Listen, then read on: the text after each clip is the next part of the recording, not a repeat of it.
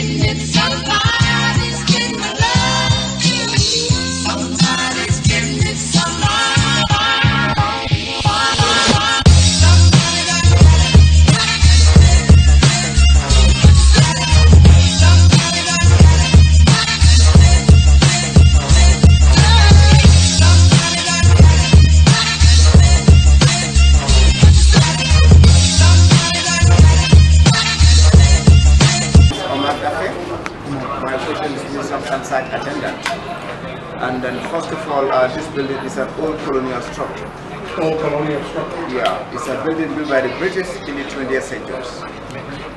built, it was called the British Club, or some said Bathurst Club, because Bathurst was the first British name of Banjul.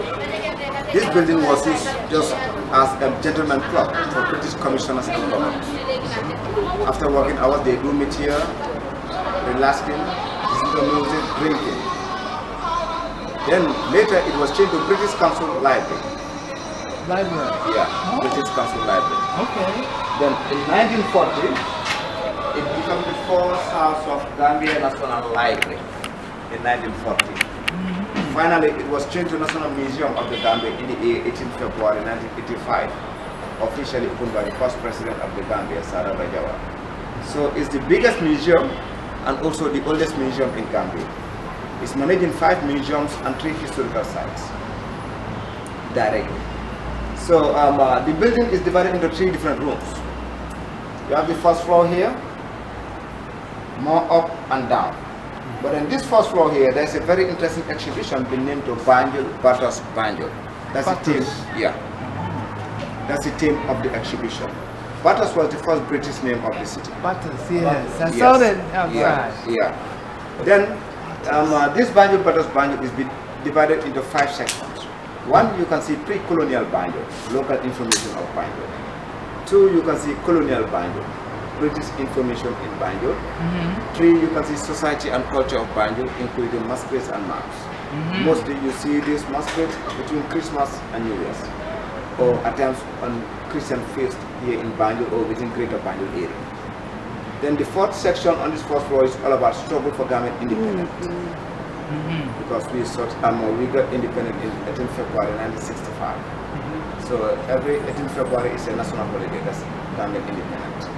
Then the fifth part of it is all about post-colonial Banjul. Okay? Then from there, we have one ladders to climb up. Left hand side up is talking about environment of the Gambia. Middle part up is all about archaeological section of the Gambia and within the sub-region. That's what it is. Archaeology. Archaeology. Archaeological. Arche- yeah, I was yeah. trying to get see the spelling. Yeah, Archaeology. yeah. And then together with um, African prehistory at the middle part, upper floor. Right inside up in is all about history of the Gambia. Migration of different ethnic tribes and their origins, Western kingdoms and empires. Together with distribution of language groups in West Africa and like the colonial Gambia from 1901 to 1936. The last room down is all about instruments.